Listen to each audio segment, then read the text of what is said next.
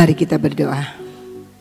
Bapa di surga, Bapa yang juga menyertai kami, Immanuel, Bapa yang selalu setia, Bapa yang terus mau menolong kami, mengintervensi hidup kami, supaya kami menikmati yang terbaik. Engkaulah Allah yang kami kenal di dalam Tuhan Yesus Kristus. Engkau sudah berikan segala-galanya buat kami. Saat ini mampukan kami terus Tuhan untuk mengerti akan kehendakmu. Belajar mengenal engkau lebih dalam lagi. Berbicaralah engkau kepada kami Tuhan. Dan kami mau menikmati setiap kebenaran firman-Mu. Untuk boleh beroleh tempat yang terbaik di dalam hidup kami. Roh Kudus, engkau yang terus mengajar kami. Menyingkapkan apa yang masih tersembunyi semua yang belum kami kenali, Tuhan biarlah rahasia itu engkau bukakan. Terima kasih Bapa, dengan kerendahan hati kami tahu Tuhan, bahwa engkau mau terus memenuhi hidup kami dengan segala kebaikan dan kebenaranmu. Terima kasih Bapa, di dalam nama Tuhan Yesus kami berdoa. Amin. Pagi ini saya ingin mengajak untuk kita sama-sama merenungkan tentang tidak ada yang mustahil. Kenapa saya tidak kasih judul lebih lagi panjang tapi karena kita akan sama-sama mengerti bagaimana hidup kita sebagai orang percaya hidup dalam dimensi tidak ada yang mustahil.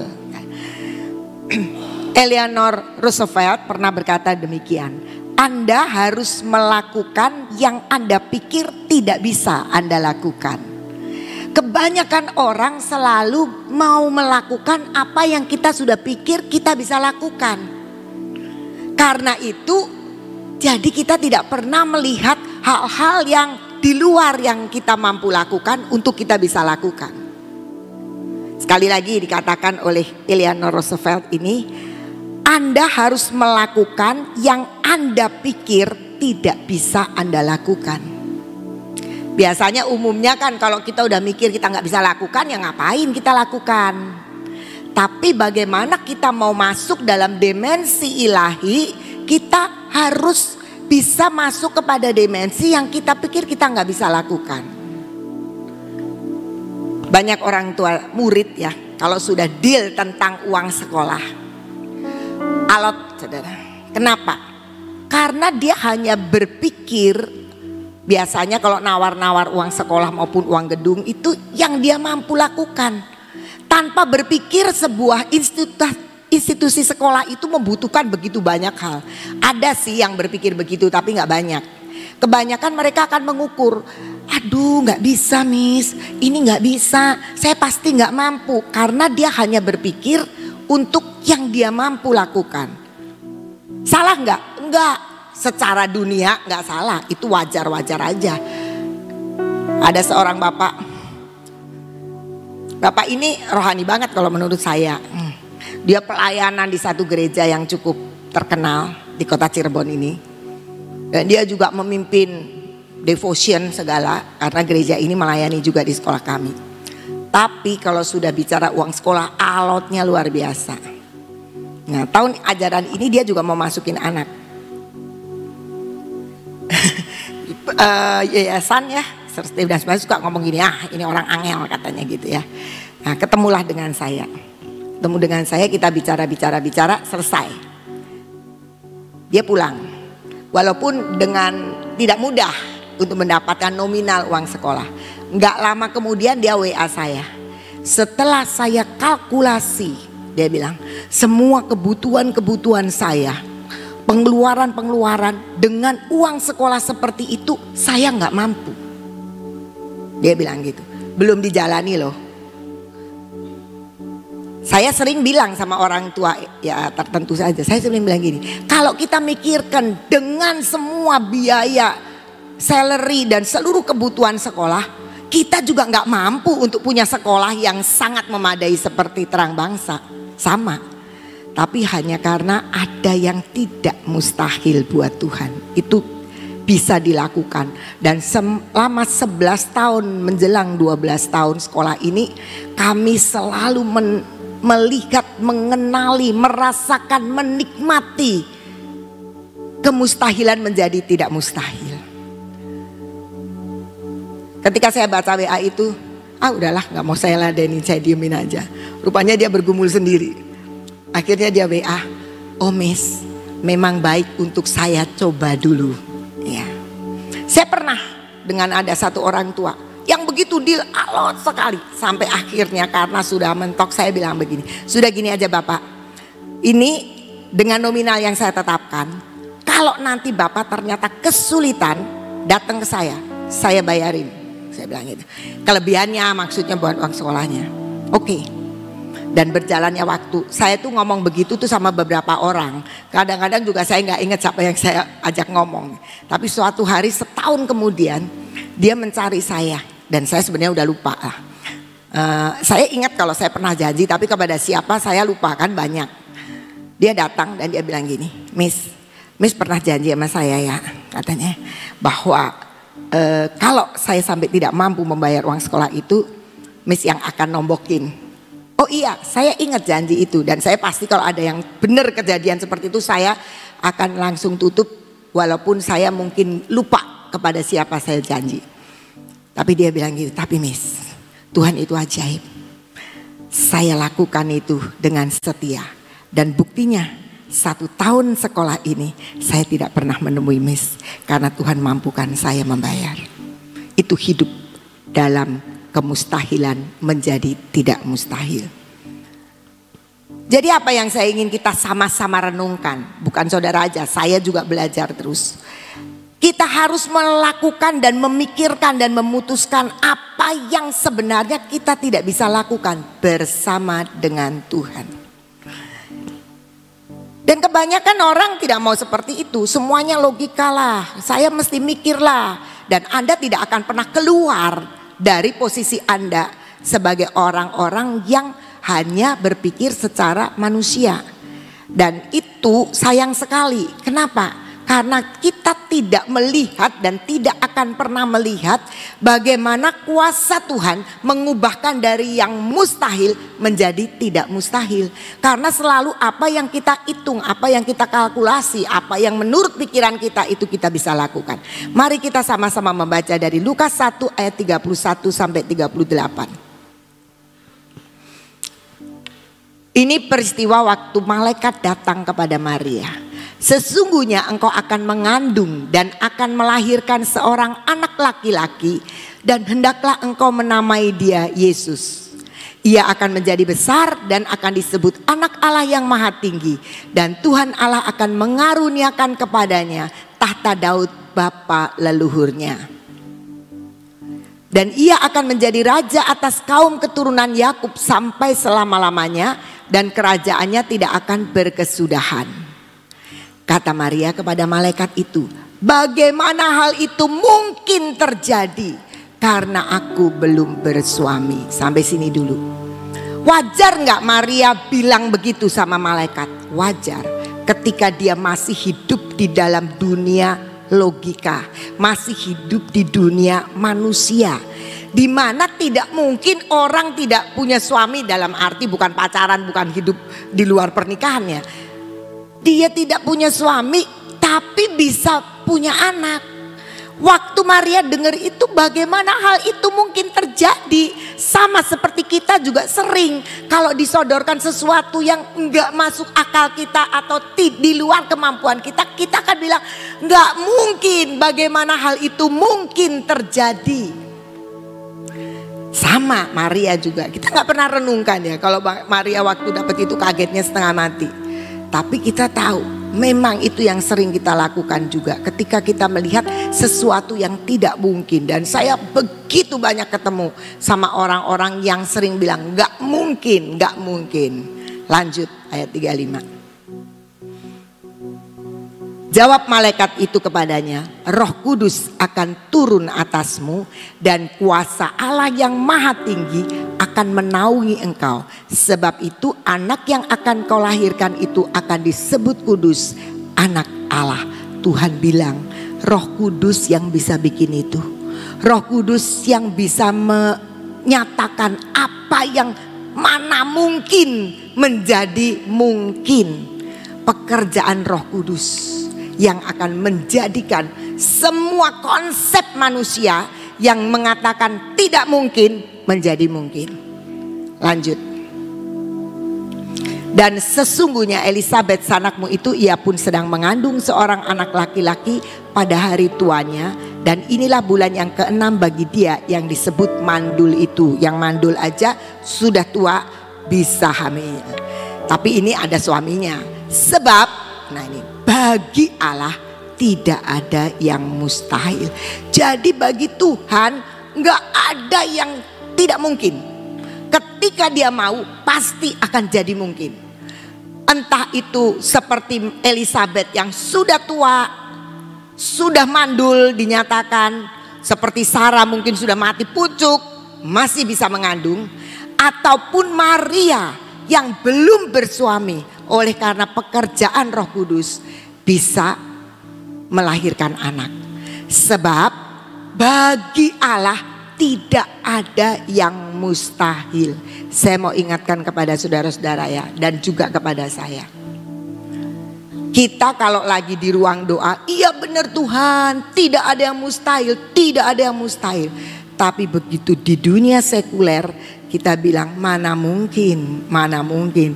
Apalagi kalau sudah berhadapan dengan saya. mana mungkin, mana mungkin akan Orang kalau ketemu saya urusan sekolah pasti akan bermental miskin lah. Kalau bisa dapat semurah-murahnya. Nggak apa-apa sih. Anda minta murah, Tuhan berkati sekolah. Oh ada yang ngomong, iyalah mis murah aja kan di sini banyak mujizat. Jadi sekolah disuruh terima mujizat sebesar-besarnya dan Anda tetap di luar lingkungan mujizat. Kasihan Sebab kita punya Tuhan yang bisa dan sanggup membuat Maria seorang gadis, seorang perawan bisa melahirkan anak. Dia melihat seorang wanita tua mandul bisa melahirkan anak.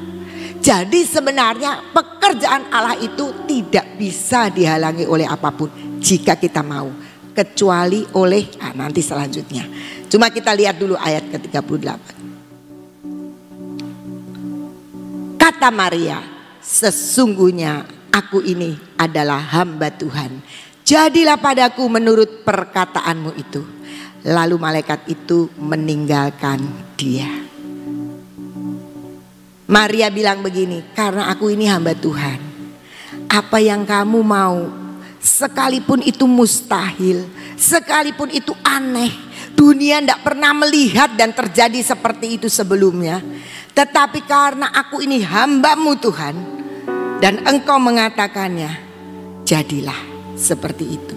Dan kita tahu bahwa Maria menjadi ibu Yesus dan selanjutnya kita lihat hal-hal yang luar biasa terjadi. Nah, itu jadi kita bisa melihat bahwa ayat 37 ayat 37 coba balik ke ayat 37. Yang pertama tentang tidak ada yang mustahil, kita harus menyadari bagi Allah tidak ada yang mustahil.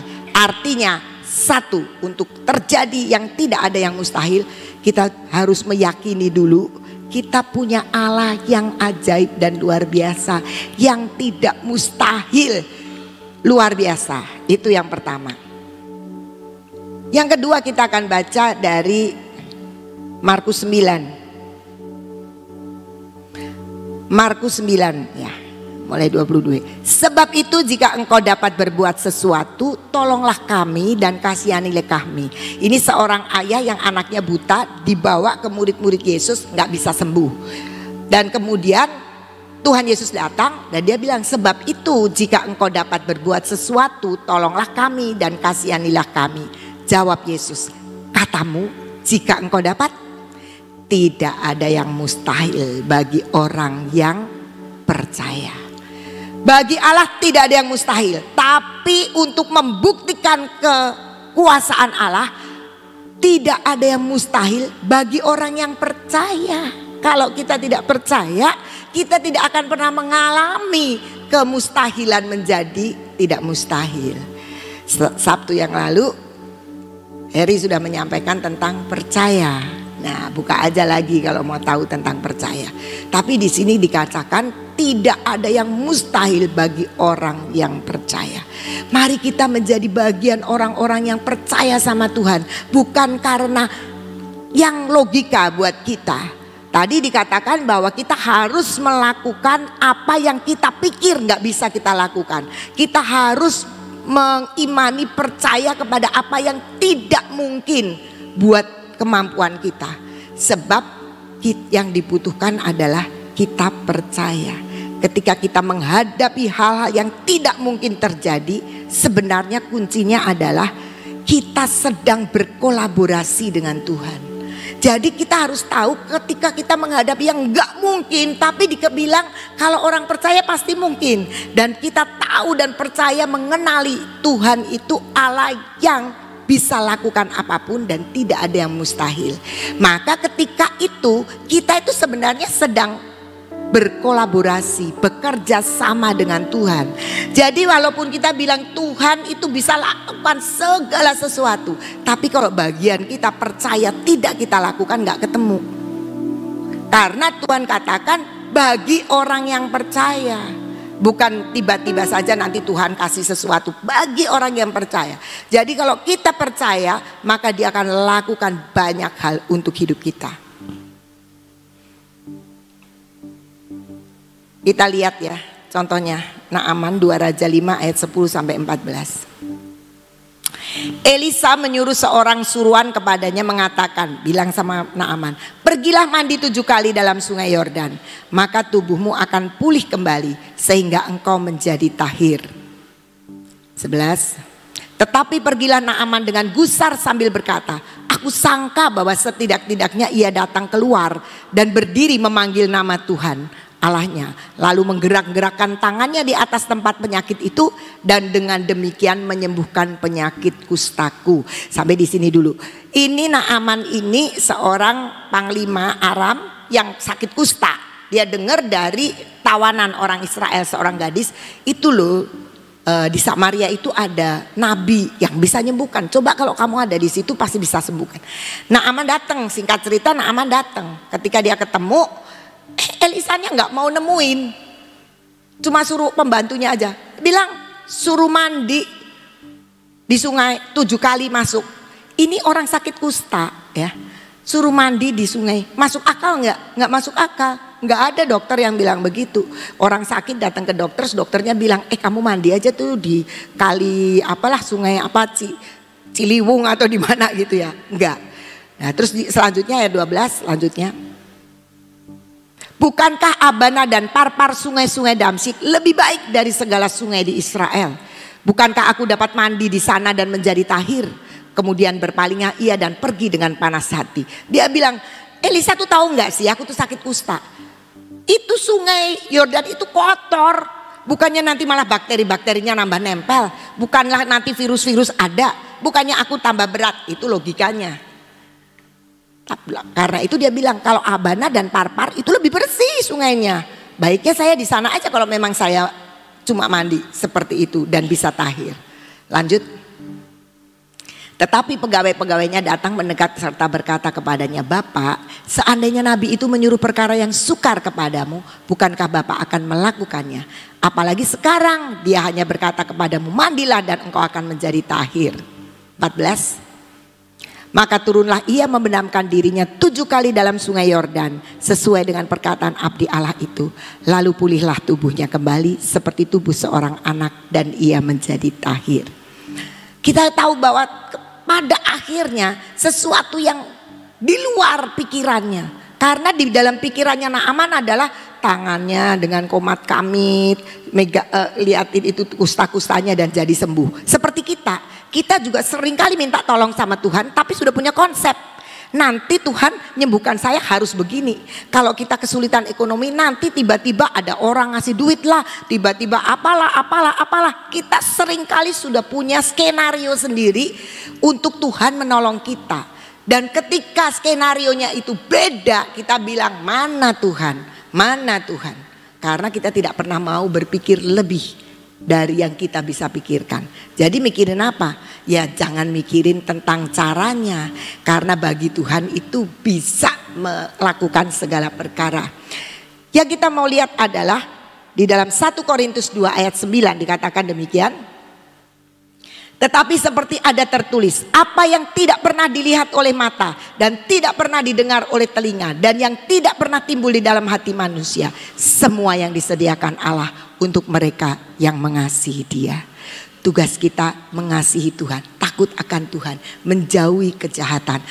Tapi Tuhan bilang, udah jangan pikirin karena yang kamu lihat apa yang kamu dengar, apa yang pernah timbul di dalam hatimu itu di luar yang Tuhan mau. Kita sering kali maunya yang kita sering dengar, yang kita lihat, yang kita timbul di dalam hati kita. Tapi Tuhan bilang Tuhan menyediakan lebih dari itu. Kenapa? Karena yang kita lihat itu terbatas, yang kita dengar terbatas, yang timbul di dalam hati kita terbatas. Allah sanggup lakukan di luar itu tanpa kita selidiki-selidiki. Dia bisa lakukan.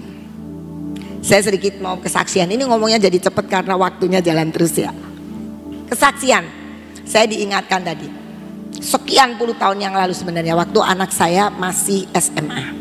Dia itu dari kecil dari TK les piano, piano klasik. Dan setiap tahun dia harus ujian dua mata pelajaran. Satu ujian teori dan ujian praktek. Dan dia setiap ujian selalu dapat peringkat dan selalu dapat hadiah. Tidak pernah tidak. Tapi kemudian setelah tingkatnya mulai tinggi, mulai SMA, dia mulai ngeluh. Dia bilang gini, mami, mami, udahlah gak usah ujian-ujian lagi. Kenapa?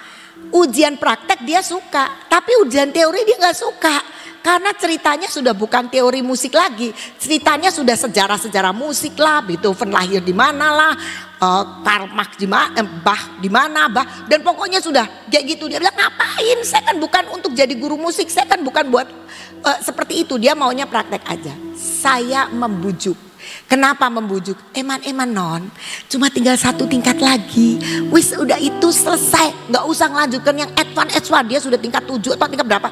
Dari tingkat satu, udah terus. Saya bilang udah non, sekali ini aja. Eman-eman. Dia waktu itu SMA kelas 2 Akhirnya dia nurut. Walaupun dengan ngomel-ngomel nurut. Ujianlah dia. Ketika dia ujian, tiba-tiba gurunya ini keluar. Di saat dia masih di dalam, keluar. Di Semarang ujiannya. Dan saya mengantar selalu, keluar gurunya. Dia bilang gini, in in. Yang ujian tingkat itu tinggal empat orang. Biasanya yang banyak itu yang masih ya tuh yang di atas empat orang dan dia satu-satunya SMA yang lainnya mahasiswa mahasiswa dia bilang gini in in soalnya salah jadi bahan untuk tingkatnya dia itu bukan itu, tapi ini salah. Wah, gak pada bisa tuh anak empat orang gak ada yang bisa kata gurunya. Gimana kalau kamu protes? Saya lemes terus saya mikir lagi ya, lah ngapain protes? Udahlah biarin aja kata saya gitu. Gurunya aja yang suruh protes. Gitu. Singkat cerita ujian selesai. Satu hari di siang hari saya ditelepon sama gurunya. Dia bilang begini, In jangan cerita dulu ya sama Audrey ya. Itu saya sedih banget saya barusan telepon ke sana karena dia yang penasaran sekali. Apakah ini akan diulang atau bagaimana? Karena bahannya itu kok salah, salah tingkat gitu loh. Gitu. Terus salah bahan nggak tahu salah apa. Terus dia bilang gini, saya barusan tanya. Jadi dia e, menginduk ke yayasan apa institusi musik seni musik yang di Jogja. Dia bilang empat anak ini tidak ada yang lulus. Tak aja saya saya menyesal. Kenapa? Kenapa saya maksa? Kan gak finish strong, gak finish well kan. Dia mau mengakhiri les karena dia memang sudah kelas, sudah di SMA, udah mau lulus. Jadi saya pikir, waduh ini noda. Kalau tadinya bagus, bagus, bagus, tiba-tiba di ujungnya dia nggak lulus. Aduh saya menyesal, kenapa ya saya itu maksa-maksa. Saya masuk kamar, saya doa. Saya nggak bisa ngomong apa-apa lagi. Saya cuma berdoa. Roh Kudus bilang, puasa saya bisa aja ngomong, nggak mungkin Tuhan.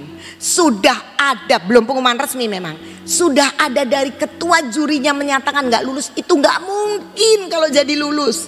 Saya bisa ngomong begitu. Tapi saya tetap puasa. Jam 11 siang itu, saya mau mulai puasa. Saya puasa, saya doa, saya bilang Tuhan ampuni saya karena saya itu jadi mami kok memaksa udah anak nggak mau kenapa maksa saya pikir gitu kan.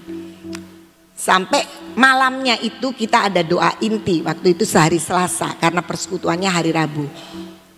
Saya doa inti seorang hamba Tuhan datang bukan kami. Kadang-kadang ada hamba Tuhan yang mau menyampaikan Rabu dia datang. Ketika dia menyampaikan firman tiba-tiba dia berhenti dan dia bilang begini, di sini ada ibu yang lagi doa untuk anaknya secara khusus ya. Semua orang iya, di situ ada beberapa ibu-ibu. Oh iya, kita doain anak-anak kita. Jadi saya nggak berani ngomong karena semua orang berdoa. Tapi saya waktu itu langsung, ya saya sedang berpuasa untuk anak saya. Dan kemudian saya selesai uh, selesai persekutuan itu keluar keluar dari ruang doa waktu itu masih berdoa di rumahnya Ibu Nani di Kesambi. Tiba-tiba ada telepon, hamba Tuhan itu dapat telepon. Dapat telepon dan diangkat dari istrinya. Dan di, istrinya ini bilang gini, kamu ingat sampaikan di situ ya, ada seorang ibu yang sedang berdoa secara khusus. Persis seperti yang disampaikan suaminya tadi. Dia kasih lihat ke saya, waktu itu terus saya bilang, iya pak, kebetulan saya itu keluarnya terakhir dari ruangan doa. Iya pak, saya itu Doa apa bu? Ya saya cerita sama dia dan singkatnya saya sedang berpuasa. Tuhan bilang doamu dikabulkan. Saudara, saya tangkap itu dan saya bilang sama Tuhan, aku percaya. Sekalipun sudah diumumkan, eh, bukan diumumkan, artinya guru pianonya yang di Cirebon ini sudah menelpon dan menanya kepada ketua panitia dan hasilnya tidak ada yang lulus di tingkatnya itu. Tapi kalau engkau bilang, saya percaya yang mustahil jadi tidak mustahil. Beberapa waktu kemudian tiba-tiba gurunya telepon. Pengumuman keluar. Herannya Audrey lulus dengan nilai yang tertinggi. Empat orang, cuma empat orang. Saya tahu Tuhanku itu bisa lakukan apa pun. Saya bertobat dulu saudara-saudara dan setelah itu sudah selesai nggak les piano lagi karena Audrey sudah pokoknya saya tidak mau yang namanya sejarah musik itu kayak orang mau jadi guru musik aja. Nah itu anak saya. Tapi saya bilang udahlah terserah kamu. Kamu mau les boleh, mau tidak les boleh. Tapi saudara-saudara, saya mau katakan bagi Allah tidak ada yang mustahil. Tapi tidak ada yang mustahil bagi orang yang percaya. Ketika kita mau kemustahilan itu menjadi tidak mustahil, itu harus ada kolaborasi antara Allah dengan kita. Tuhan bisa lakukan apa saja. Masalahnya kita percaya tidak. Kalau kita hanya melakukan yang seputar, kita masuk akal, kita nggak pernah melihat mujizat. Mujizat itu terjadi selalu yang tidak masuk akal. Selalu yang tidak masuk akal. Karena kalau masuk akal kerjain sendiri aja nggak usah Tuhan, nggak perlu Tuhan. Semua juga bisa. Terakhir Ibrani 11 ayat 17 sampai 19a. Karena iman maka Abraham tatkala ia dicobai mempersembahkan Ishak ia yang telah menerima janji itu rela mempersembahkan anaknya yang tunggal Walaupun kepadanya telah dikatakan keturunan yang berasal dari Ishaklah yang akan disebut keturunanmu. Karena ia berpikir bahwa Allah berkuasa membangkitkan orang-orang sekalipun dari antara orang mati. Ishak ini sudah ditetapkan untuk jadi keturunan Abraham yang akan uh, menghasilkan keturunan yang banyak itu, bukan Ismail. Tapi Ishak diminta untuk dipersembahkan kepada Tuhan. Hari itu belum ada kejadian orang mati dibangkitkan. Tetapi Abraham tidak berpikir itu. Dia berpikir, ah Tuhan yang bisa mengadakan Ishak lahir di masa tuaku. Masa yang tidak mungkin untuk melahirkan anak bagi Mersara. Bisa, pasti dia juga berkuasa membangkitkan orang sekalipun dari antara orang mati. Hebat sekali kan pikirannya. Dan Tuhan ingin seperti itu. Mari kita berpikir di luar yang jauh dari yang kita tahu. Caranya berpikir gimana? Ya serahkan sama Tuhan dengan percaya. tidak ada yang mustahil bagi Tuhan. Tetapi tidak ada yang mustahil bagi orang yang percaya. Bagian kita percaya. Percaya itu seperti apa? Setel lagi Harry kemarin hari Sabtu cerita tentang percaya. Mari saudara-saudara kita belajar hidup dalam dimensinya Allah Jangan dimensi kita sendiri. Terus kita tidak pernah menikmati keajaiban Tuhan. Hanya karena dengan logika kita, kita sok pinter, kita mengerti yang gitu nggak pernah terjadi. Mari kita dengan iman kita percaya. Saya percaya. Saya belajar di eklesia ini, di persekutuan doa ini. Hal-hal yang mustahil terjadi semua. Ini gedung dari tidak ada jadi ada. Kalau saya mau cerita sebenarnya banyak sekali hal-hal yang tidak mungkin jadi mungkin, yang mepet-mepet jadi terjadi. Uh, semua mujizat itu terjadi. Salah satunya juga taman Tuhan. Kita lihat begitu banyak pekerjaan Tuhan. Masa kita cuma mau jadi penonton dan kita senang sekali karena taman Tuhan ada di Sion. Sehingga kita bisa sekali waktu ke Sion. Setiap kali kita bisa nikmati hadirat Tuhan. Itu saja.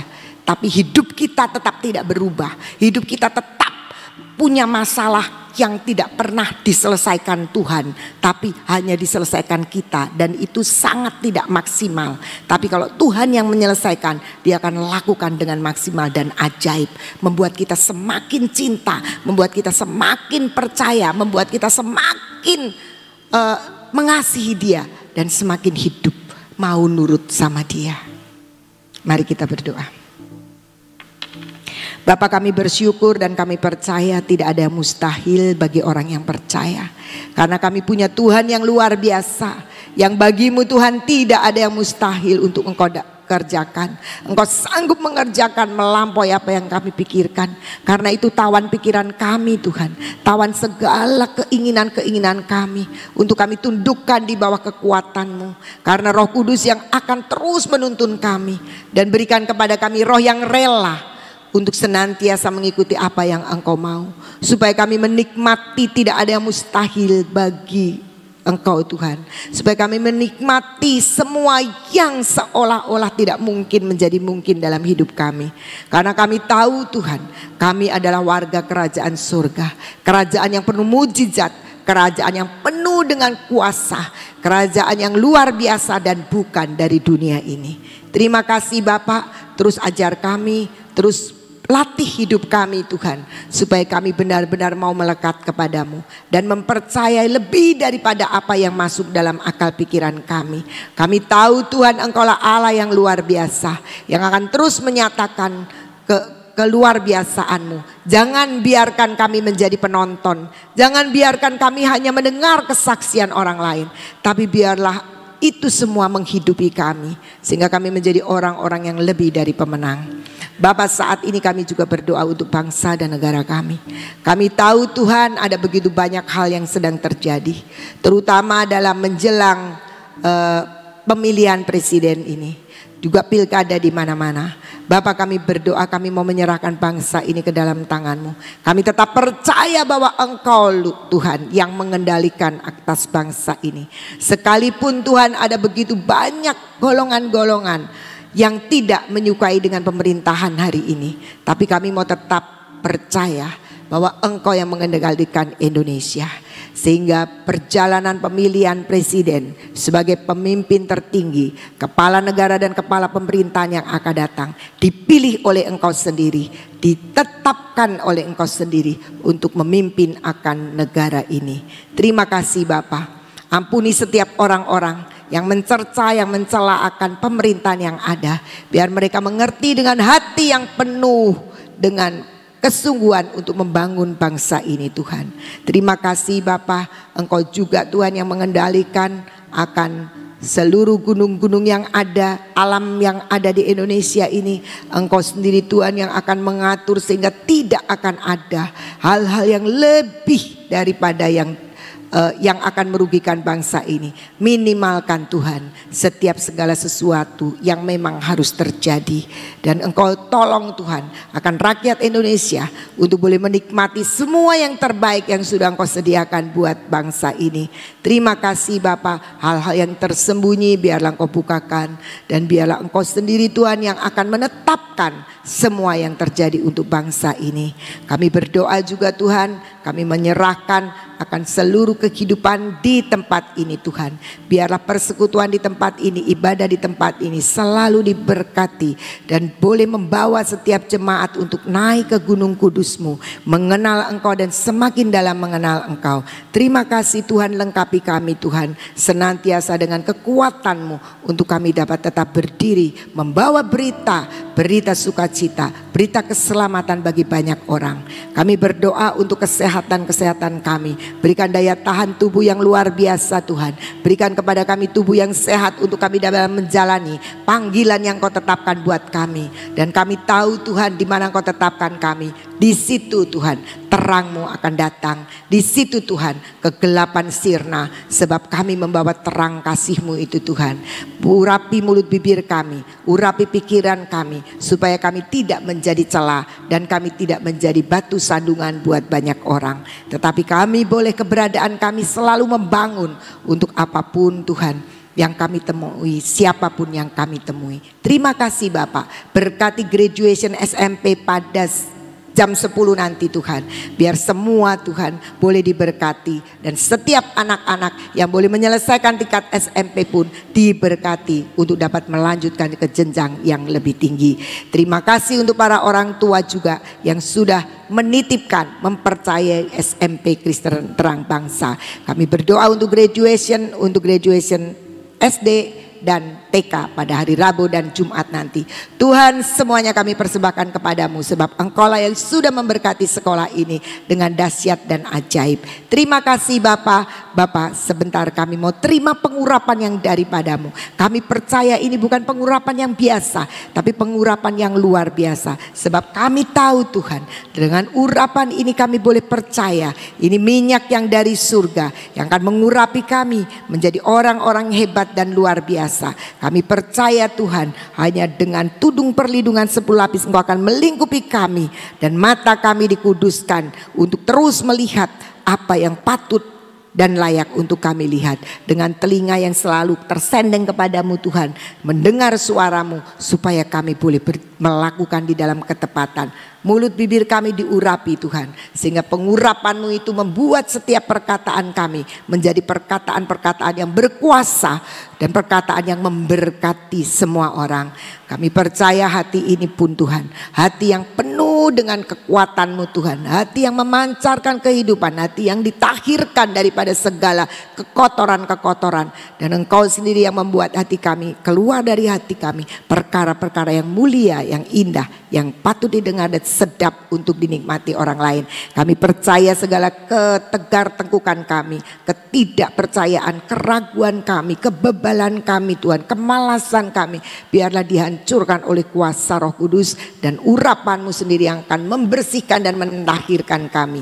Kami percaya hari ini pun Tuhan, tangan kami menjadi tangan yang diurapi. Tangan kami menjadi tangan yang ajaib. Sehingga siapa apa pun yang kami sentuh dengan tangan kami akan menjadi hidup. Apa pun yang kami pegang akan berhasil. Dan kami percaya dengan tangan yang penuh dengan urapan dan kuasamu. Kami boleh memberkati, kami boleh menyembuhkan, kami boleh memulihkan, kami boleh menghiburkan banyak orang. Kaki kami adalah kaki yang terus berjalan di dalam jalan kebenaranmu Tuhan. Dituntun oleh engkau, kami boleh memasuki jalan-jalan sesuai dengan panggilanmu. Terima kasih Bapak, kami menyerahkan semua ini ke dalam tanganmu. Berkati perjalanan pulang hambamu Ibu Nani ke kota Sion pada hari ini. Dan kami percaya apa yang sudah ditabur, apa yang sudah disampaikan dalam pelayanan ibadah di Temanggung. Itu semua akan menghasilkan buah-buah kehidupan yang ajaib dan luar biasa. Terima kasih Bapak kami mengucap syukur untuk hari yang luar biasa ini. Kami terima berkat yang terbaik dari Bapak surga persekutuan dengan Roh Kudus dan kasih karunia Tuhan Yesus di dalam nama Tuhan Yesus kami berdoa. Mari yang sepakat dengan saya katakan amin. Tuhan Yesus memberkati.